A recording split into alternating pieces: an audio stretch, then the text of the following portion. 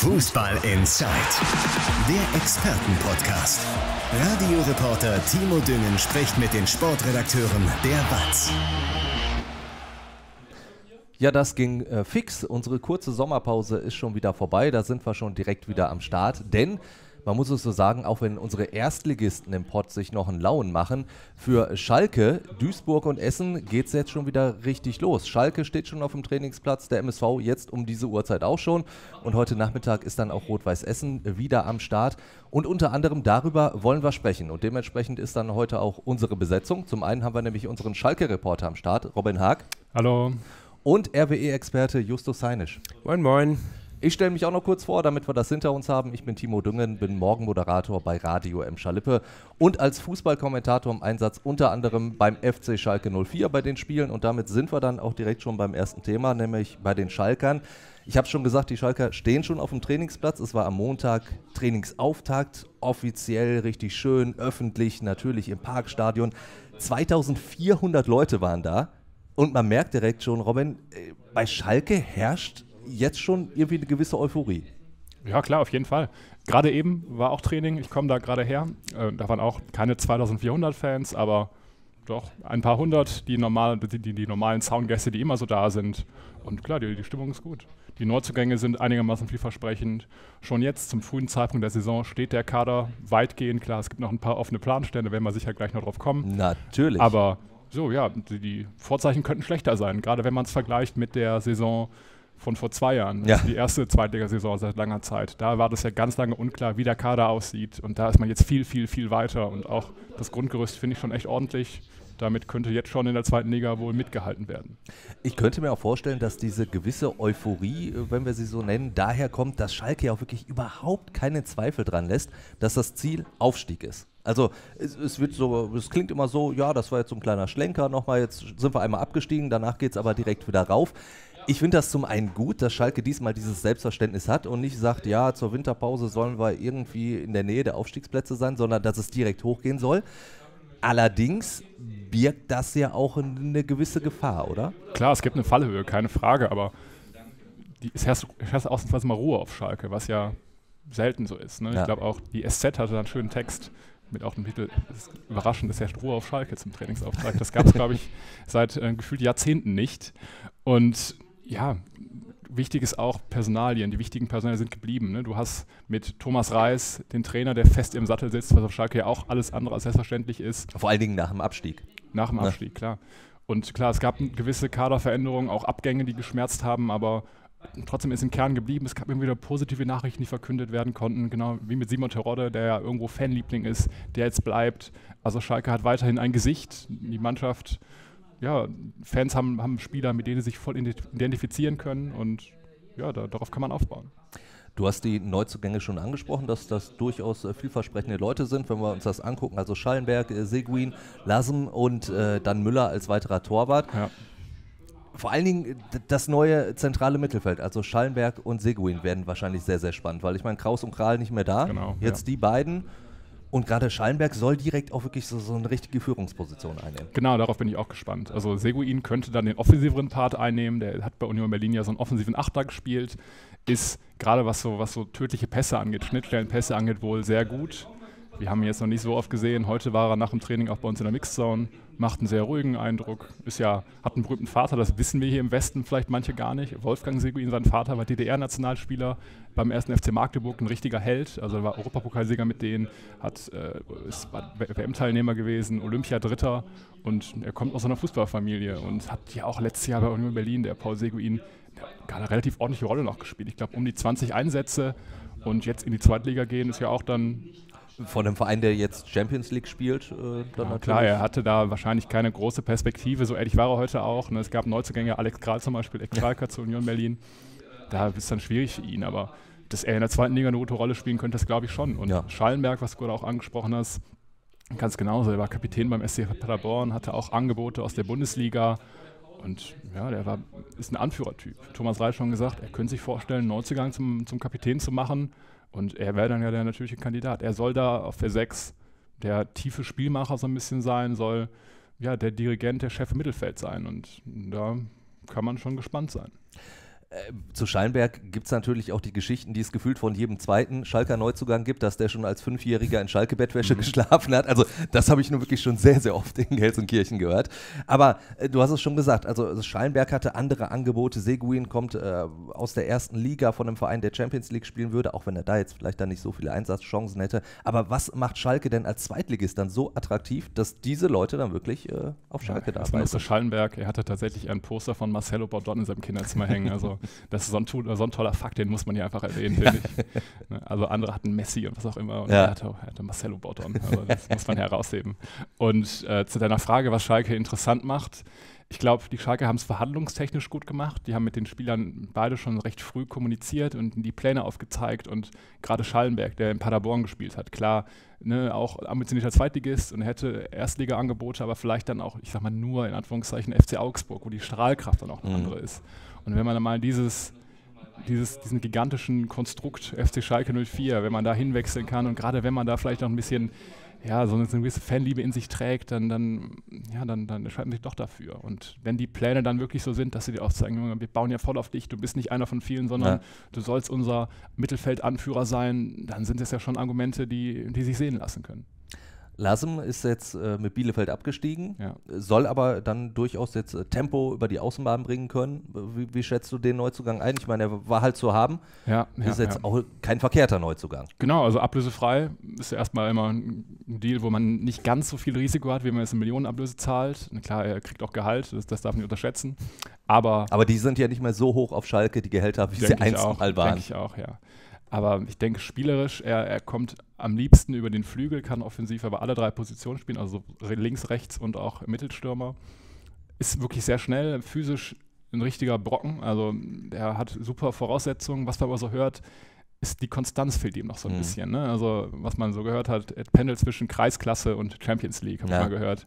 Das hat vielleicht ein bisschen überschwitzt formuliert, aber er schafft nicht immer dieses Potenzial abzurufen, sonst würde er wahrscheinlich nicht äh, jetzt vom Zweitliga-Absteiger zu einem zu, zu Schalke 04 wechseln.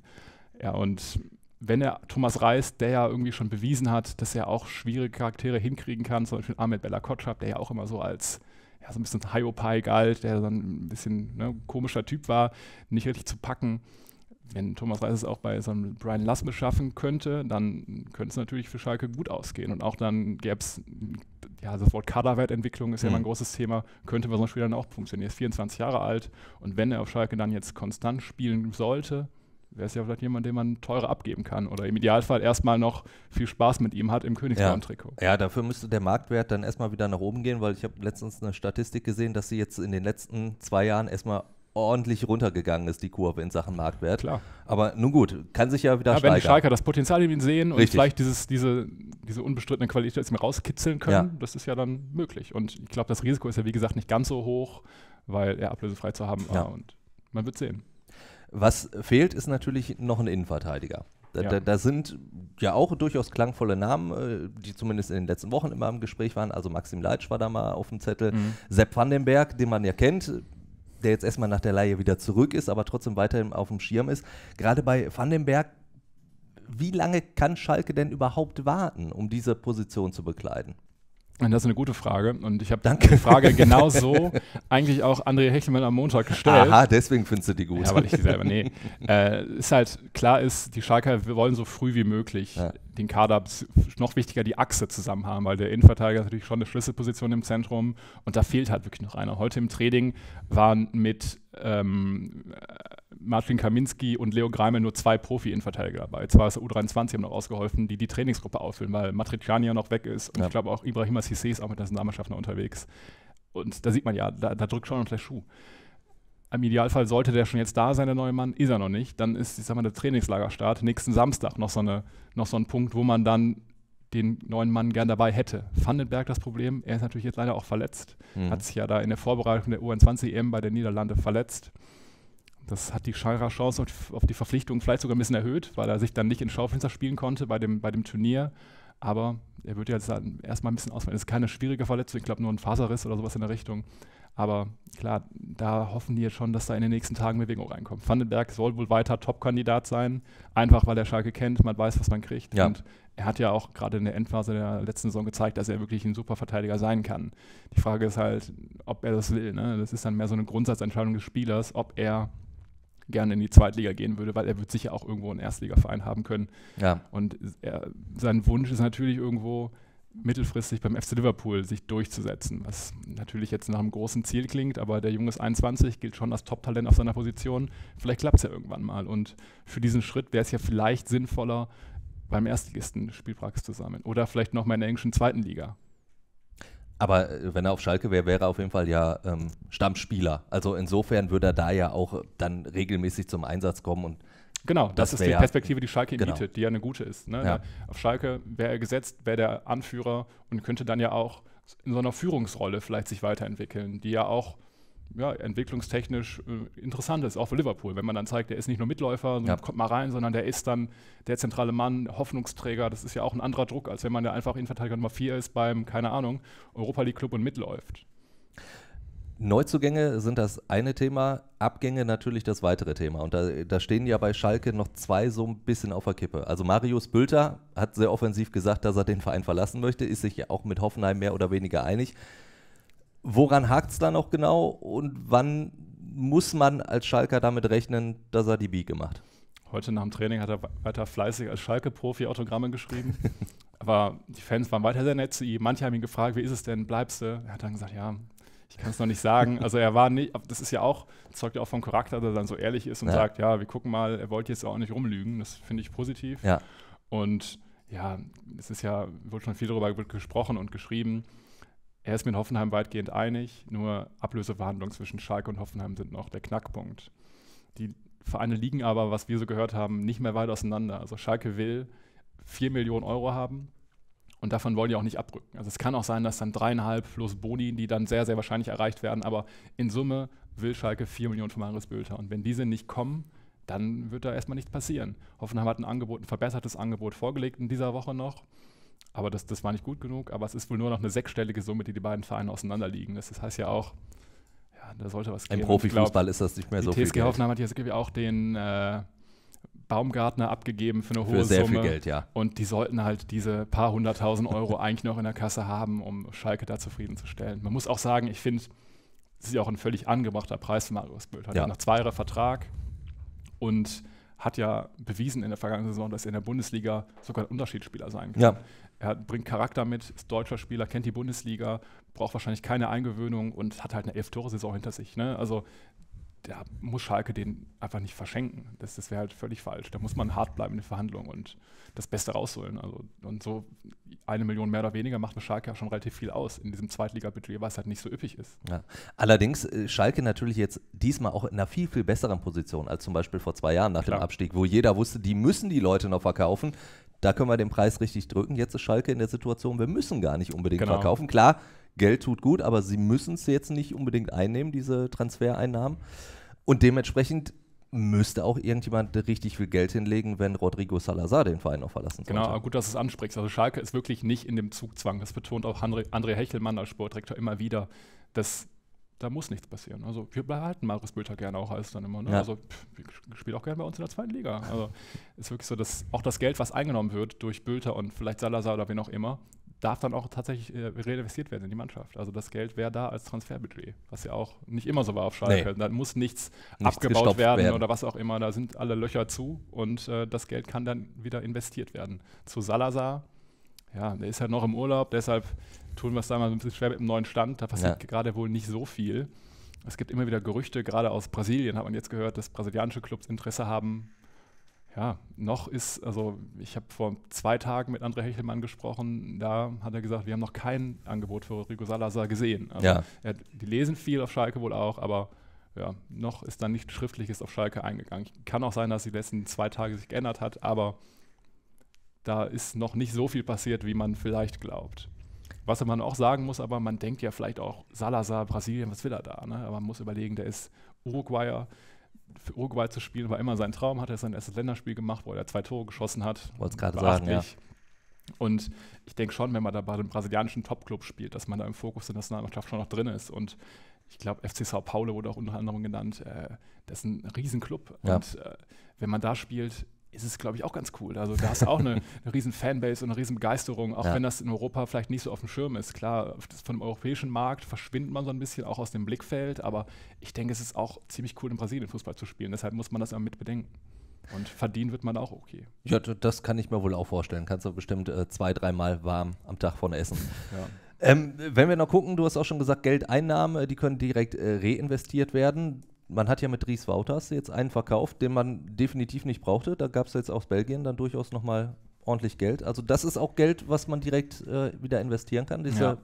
1,3 Millionen. Also die gesprochen 1,3 wurde. waren es nicht. Das war eine Meldung, die an dem Morgen vorher äh, online war von einem anderen Portal, wo ich mich auch sehr gewundert habe. Das, das hieß ja, ich glaube, äh, Weil das die Kaufoption von Mechelen war. die Kaufoption, aber das ist natürlich nicht passiert. Der ist Richtig. jetzt, jetzt zum Zweitligisten Nach Lommel. Lommel SK gewechselt und die haben als belgischer Zweitligist keine 1,3 Millionen für Wouters bezahlt.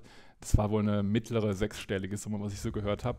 Aber immerhin auch. ne? Immerhin. Also Schalke hat ihn ablösefrei geholt und Richtig. er hat auf Schalke wirklich gefloppt, muss man ja, Ja. so sagen. Ich glaube, nur zwei, drei Spiele gemacht für, für Schalke 04 und dann hat man den jetzt plus minus null, vielleicht sogar, wenn man die Gehaltskosten mit einrechnet, vielleicht sogar mit ein bisschen Gewinn verkauft. Hat halt nicht funktioniert, kann passieren, aber jetzt auch kein Millionengrab, so wie es in der Vergangenheit öfter war, wenn man da Spieler verpflichtet hat, die dann nicht gezündet haben. Ja. Das heißt, nicht so schlimm und was du sagst, dieses Geld ist jetzt da, kann in neue Spieler investiert werden. Wird auch noch passieren. Also da werden zumindest noch zwei neue Spieler kommen, was jetzt immer, was, was auch klar bestätigt wurde. Ein Linksverteidiger soll kommen, ein Innenverteidiger soll auf jeden Fall noch kommen und dann mal gucken. Bülter-Ersatz wird man wahrscheinlich auch darauf reagieren. Ich denke, mit Tim Skarke ist natürlich denkbar. Ja, Ja, das sollte auf jeden Fall noch passieren und Abgänge wird man da vielleicht auch noch ein bisschen was sehen. Blendi Idrizi wird den Verein noch verlassen, bin ich ziemlich sicher. Ja. Sidi Sané, der ja halb U23, halb Profis war, steht jetzt auch vor einem Wechsel, ist heute auch wieder nicht im Training gewesen, weder bei der U23 noch bei den Profis. Da bahnt sich was an. Arminia Bielefeld soll es wohl sein. Könnte ich mir durchaus vorstellen, dass er da die dritte Liga nochmal als ja, Neuanfang will man bei ihm ja gar nicht sagen, aber vielleicht, dass er da Klar. die Chance äh, nutzen könnte. Du hast die verliehenen Spieler, die zurückkehren, schon angesprochen. Also sind ja ein paar schon von weg. Wouters, Randl, äh, Bostoan, Idrissi wird da auch äh, dazu gehören. Flick und Piringer sind jetzt offiziell erstmal wieder da. Glaubst du, die, die haben dann auch in der neuen Saison das Schalke-Trikot wirklich an? Oder? Ganz schwierige Frage, finde ich. Also normal wird man ja glauben, die haben eigentlich beide die Qualität, auf Schalke zu spielen. Das denke ich auch. Ja, Marvin Pieringer, letzte Saison, glaube ich, 10 Tore, 8 Vorlagen in 21 Zweitligaspielen für Paderborn, was ja wirklich eine Top-Bilanz wäre. Ja. Mit 23 Jahren. Ich sage mal so, wenn Schalke jetzt so einen Spieler kaufen wollen würde, wäre es teuer. wäre es teuer. Ja. Und ich denke, genau so argumentiert Schalke jetzt auch, wenn es darum geht, den zu verkaufen. Was halt aber klar ist, du hast mit Sebastian Polter und Simon Terodde zwei Stürmer, ja, die in der Rangordnung vielleicht sogar dann vor Pieringer stehen würden. Und ob ich mir als Marvin Pieringer dann denke, ich setze mich da, ich, ich nehme den Konkurrenzkampf an und gehe vielleicht als Nummer drei auf die Bank, ich weiß nicht, ob ich da Lust drauf hätte. auch diese Vertragsverlängerung von Simon Terodde, auf Schalke wird sie gefeiert, auch irgendwo zurecht, ne, weil Terodde ein toller Typ ist, finde ich auch, und der tut dem Verein gut mit seiner Art. Ja. Aber für Marvin Pieringer war das für mich schon ein kleiner Schlag ins Gesicht. Ne? Also Kann man so sehen, ja. im Endeffekt hat er gedacht, er kommt zurück und hat dann wahrscheinlich große Spielanteile.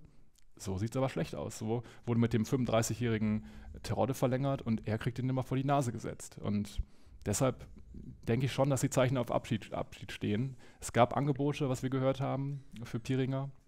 Aber noch sind sie da nicht weit. Er hat auch wieder mittrainiert. Und ja, ich kann mir aber vorstellen, dass das dann vielleicht zum Bumerang werden könnte. Mhm. Ne? Also wenn man jetzt mit den beiden in Anführungszeichen alten Stürmern, die ja beide über 30 sind, mit Terodde und, und Polter, in die Saison geht, Pieringer jetzt vielleicht in die Bundesliga geht, Heidenheim und Darmstadt wurden, glaube ich, genannt, und der dann sich da gut entwickelt, schießt er vielleicht irgendwann auch mal 10, 12 Bundesligatore. Ja, Und dann denkt man sich in zwei, drei Jahren, warum haben wir den eigentlich gehen lassen? Ne? ja gut. Das könnte wieder passieren. Hinterher ist man ja immer schlauer. Ja. Wenn wir jetzt einen Phrasenschwein hätten, würde ich Geld reinwerfen.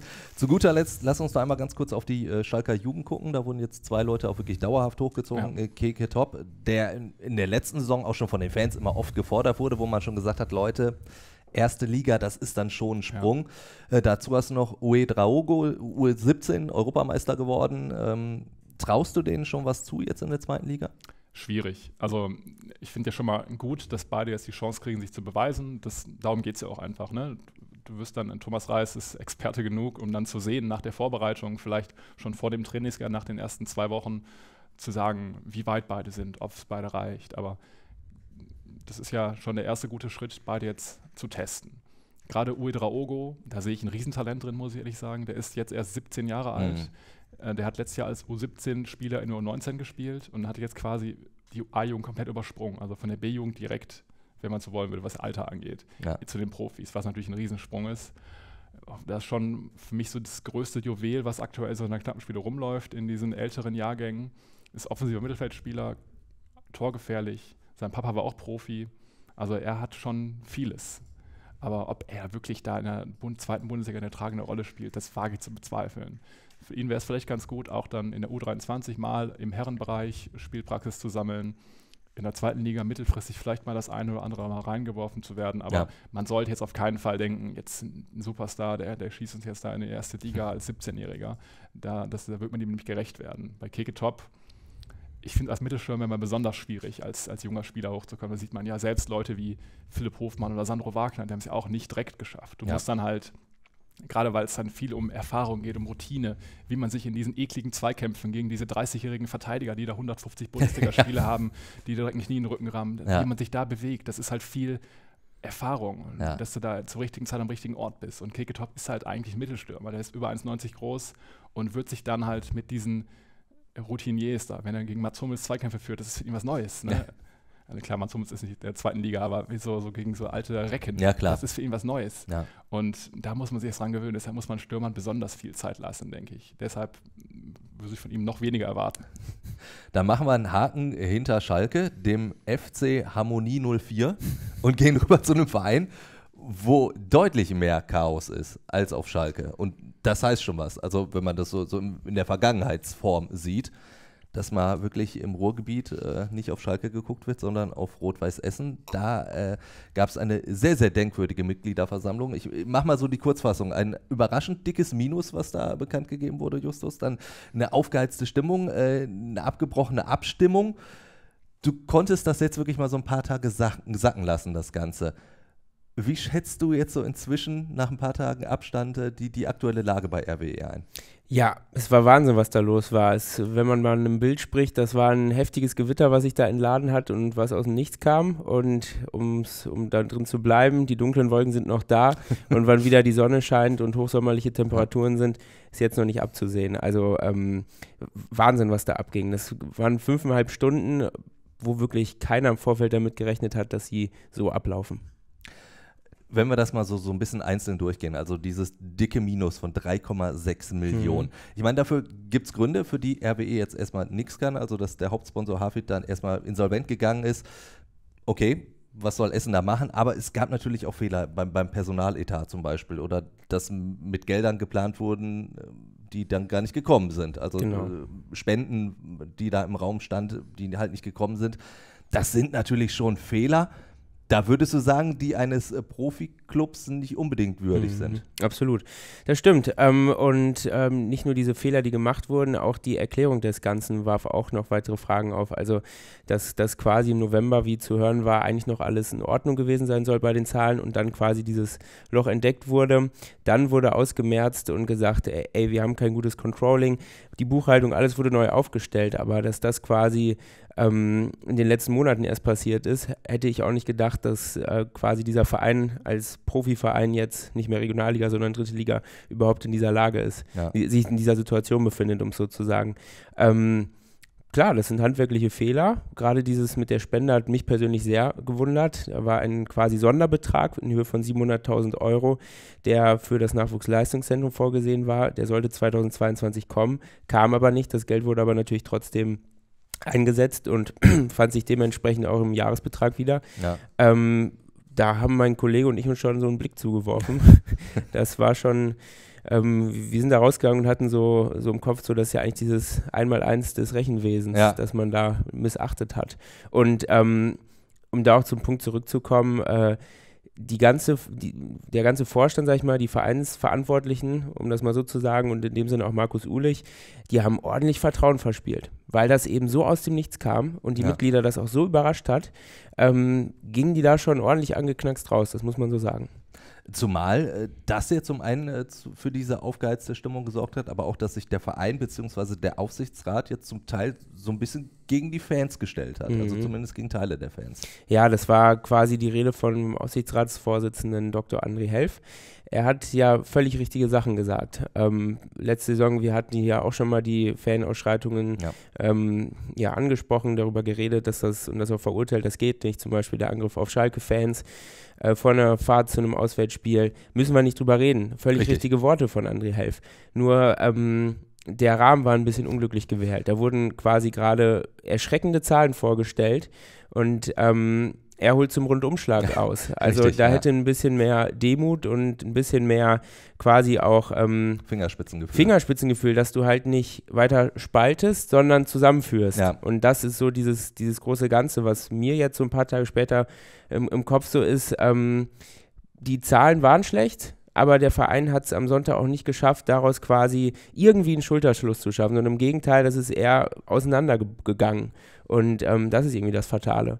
Und ähm, völlig klar, dass da diese Stimmung aufgeheizt war. Es gab einen Blog von Mitgliedern aus der aktiven Fanszene und die haben natürlich auch mit Zwischenrufen, die nicht in Ordnung waren, dann die Rede vom André Helf gestört, sodass sich da was hochgeschaukelt hatte. Und das Ganze entlud sich dann in der, in der Abstimmung um die Entlastung des äh, Aufsichtsrates, die nicht zu Ende gebracht werden konnte, weil der Verein ähm, diese Abstimmung per Handzeichen durchführen ließ. Mhm. Und ähm, auch da wieder ein Zeichen für ein bisschen unprofessionelle Vorbereitung. Wenn du solche Zahlen präsentierst, ähm, ist so mein Gedanke, dann ähm, ist doch klar, dass die Fans da nicht begeistert sind und klatschen. Die Abstimmung war also relativ eng. Diese Abstimmung wurde dann per Handzeichen durchgeführt und die Handzeichen per Hand gezählt, sodass Mitglieder ja zu Recht gesagt haben, ey Leute, das, das ist doch überhaupt nicht irgendwie messbar, das ist doch überhaupt nicht greifbar. Ein paar waren vielleicht gerade auf, auf der Toilette oder sind schon nach Hause gegangen Ja, ähm, sodass dann äh, quasi das verschoben wurde, weil es keine andere Möglichkeit gab. Es gab keine Möglichkeit, elektronisch abzustimmen oder Stimmkarten lagen auch nicht parat. ja. Das war schon echt ein skurriles Bild, was der Verein da abgab und jetzt wird die vertagt und Vorstand und Aufsichtsrat sind nicht entlastet. Du hast diesen äh, verpassten Zusammenschluss angesprochen. Den hat man jetzt probiert, ein paar Tage später nochmal Mhm. nachzuholen. Also äh, Markus Ulich hat einen, einen offenen Brief geschrieben an, an die Fans, hat da auch Besserung gelobt und mehr Transparenz. Auch das ist so, so ein Stehsatz, den es immer und immer wieder gibt. Kaufst du ihm das ab oder ist das so das übliche Blabla? Weil, wie Mhm. gesagt, es ist für mich ein Stehsatz. Wenn ein Verein Mhm. sagt, ja, wir wollen jetzt transparenter sein und wir nehmen alle wieder mit ins Boot, habe ich schon bei zig Vereinen so Mhm. gehört. Ja, diesen Brief, den würde ich, äh, also der ist für mich nicht schwarz und nicht weiß zu sehen, sondern da gibt es viele Grautöne. Erst einmal ist es richtig und wichtig, dass er sich zu Wort gemeldet hat, dass es irgendeine Art der Kommunikation danach mit den Fans oder den Mitgliedern gegeben hat. Ähm, du kannst dich danach ja nirgendwo verstecken nach so, einer, nach so einer Veranstaltung, die so zu Ende geht, bei der sowas präsentiert wurde. Ähm, wenn man das sagt zum Thema Transparenz, jetzt meine persönliche Meinung, äh, das versucht man jetzt Schadensbegrenzung zu betreiben. Ähm, man hätte aber schon im Voraus versuchen können, ein bisschen den Druck rauszunehmen, indem man von voraus irgendwie, sei es jetzt durch, durch einen Brief an die Mitglieder, sei es durch irgendwelche Infoveranstaltungen schon, gibt es ja genügend Möglichkeiten, dass man da schon mal sagt, ey Leute, das sieht gerade nicht so gut aus. Ja. Und da werden wir was präsentieren, was nicht so gut aussieht. Ähm, jetzt im Nachhinein ist der Schaden natürlich so groß und ähm, da kannst du den nur begrenzen. Und äh, vielleicht wäre es da klug beraten, äh, in Zukunft das äh, quasi vorgreifend zu planen. Und zum Inhalt des Briefs, ich habe ihn mehrfach gelesen, weil der ziemlich lang war und ähm, viele Sachen hat er auch schon Sonntag in seiner Rede gesagt.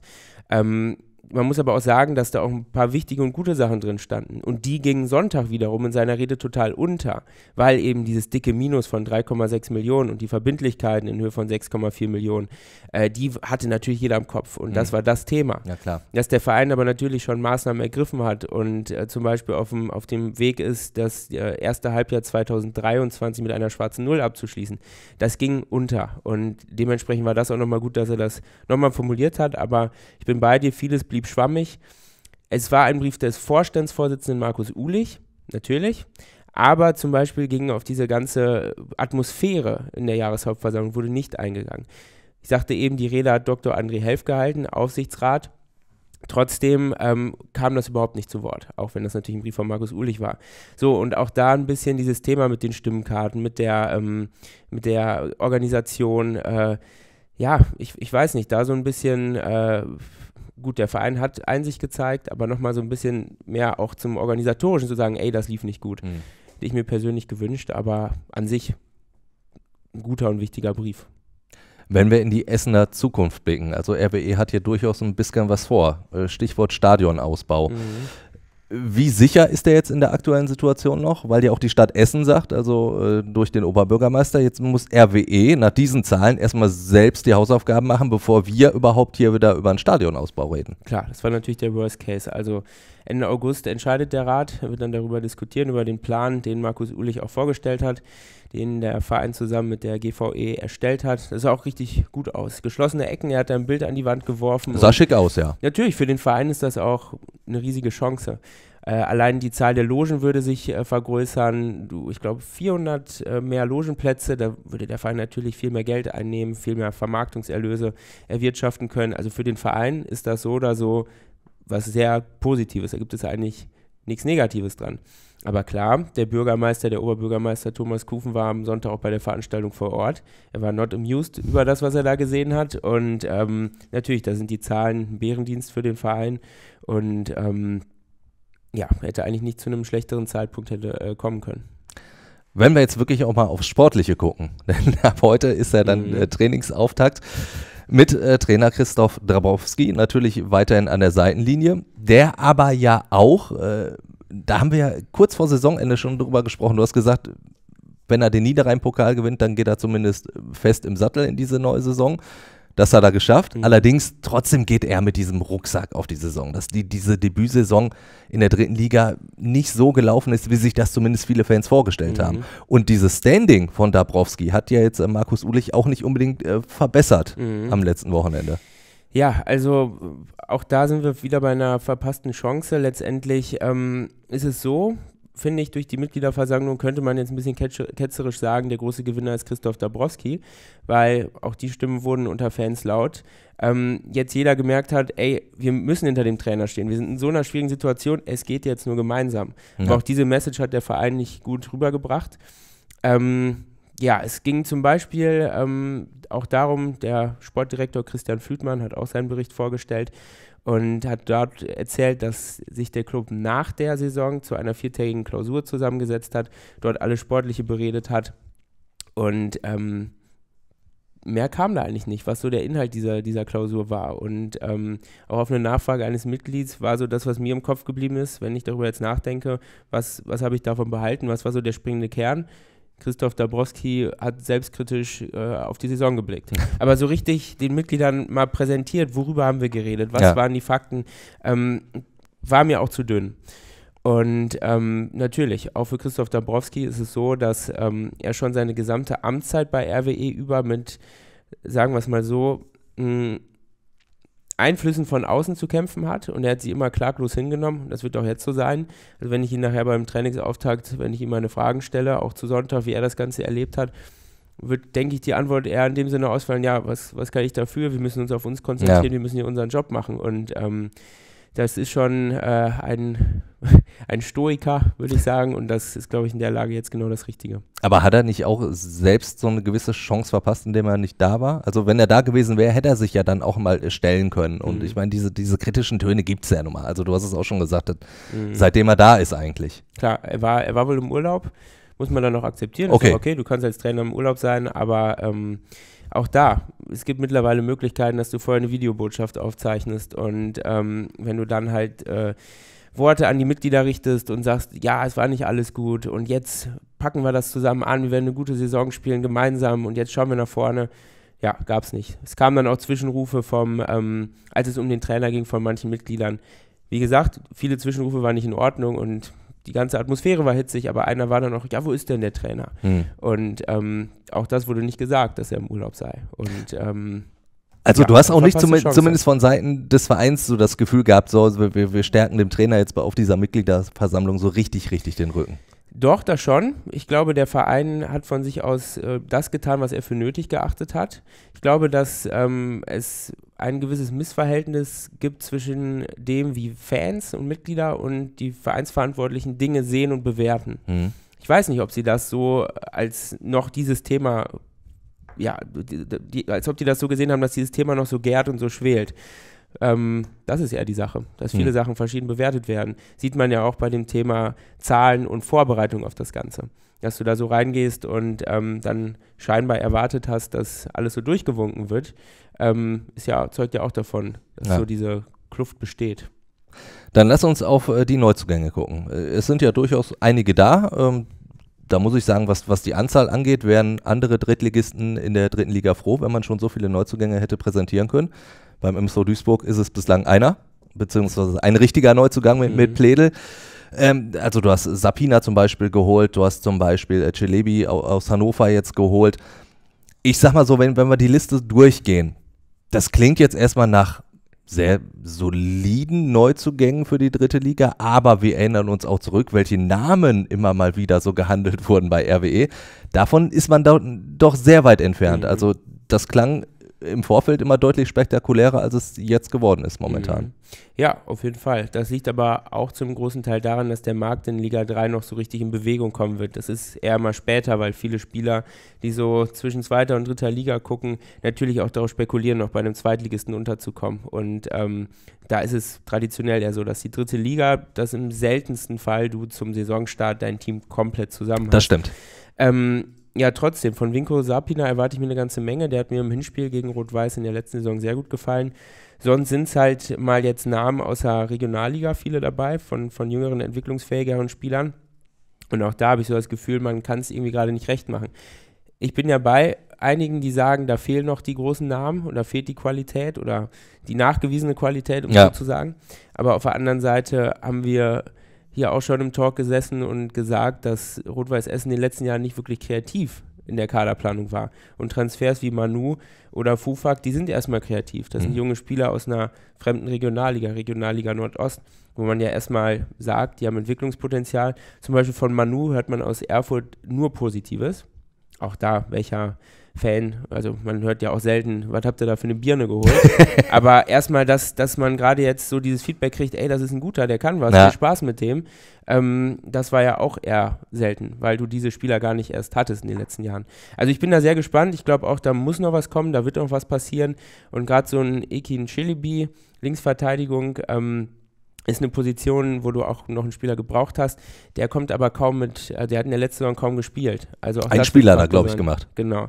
Ähm, er wird natürlich Christoph Dabrowski kennen, der vorher auch in Hannover tätig war. Christoph Dabrowski kennt auch Dumbuya, der von Ingolstadt kam, vorher aber auch in Hannover war. Also ähm, ist natürlich immer Fluch und Segen zugleich. Man kann auf der einen Seite sagen, jetzt holt er da seine alten Freunde. Auf der anderen Seite weiß er auch schon, was er an denen hat. So, wird man alles sehen. Ich bin gespannt, welchen Eindruck die Spieler heute beim Trainingsauftakt und den Testspielen und Trainingslager machen. Aber an sich kann ich den, ja, die Meinung von vielen sehr gut verstehen und unter, unterstreicht das auch, dass noch ja. was passieren muss. Wo zum Beispiel, also im Sturm soll auf jeden Fall noch Stürmer muss noch werden. kommen. Der ähm, Platz von Simon Engelmann ist quasi frei geworden. Er hatte seinen Vertrag nicht verlängert. Auch äh, Stürmer Luca Wollschläger ist zurück zu Hertha BSC gegangen, war nur eine Laie, die überhaupt nicht funktioniert hat. Aber trotzdem, du hast da auf jeden Fall noch einen Kaderplatz frei. Und ähm, ja, RWE braucht dann noch einen nachgewiesenen Knipser. Dumbuya hat in der letzten Saison nicht häufig getroffen für Ingolstadt. Das ist auch ein wuchtiger Spieler, der, denke ich, auch viel vorbereiten wird und Räume schaffen wird. Aber so einen Verwerter, den brauchst du noch. Aber da sind wir wieder beim Punkt. Gerade in der dritten Liga sucht jeder diesen einen Stürmer, der dir 20 richtig. Tore garantiert. Ja. Und die potenziellen Kandidaten, die gucken sich jetzt ganz genau den Markt ja. an und schauen auch, ey, was geht vielleicht noch bei Top-Teams oder was geht noch in Liga 2. Ja. So, braucht man auch Geduld. Wir werden das äh, auf jeden Fall natürlich im Blick haben und immer wieder drüber sprechen hier bei Fußball Inside. Ich bin sehr, sehr froh, dass wir zurück sind aus der Sommerpause. Auch wenn es nur vier Wochen waren, äh, kam mir unendlich lang vor. Jetzt sind wir wieder da. Ich hoffe, ihr hattet auch wieder euren Spaß, wenn ihr ähm, diesen Spaß ausdrücken möchtet. Vielleicht aber auch irgendwelche Kritik habt dann äh, könnt ihr die wie immer bei uns loswerden. Entweder per Mail hallo at fußball-insight.com oder ihr schickt uns eine WhatsApp-Nachricht. Die passende Nummer äh, packe ich euch in, den, in die Show Notes und dann äh, ja, hören wir uns nächsten Donnerstag wieder. Bis dahin. Ciao, ciao. Ciao. ciao. Fußball Inside, der Expertenpodcast von den Lokalradios im Ruhrgebiet und der Watz. Jeden Donnerstag neu, überall, wo es Podcasts gibt.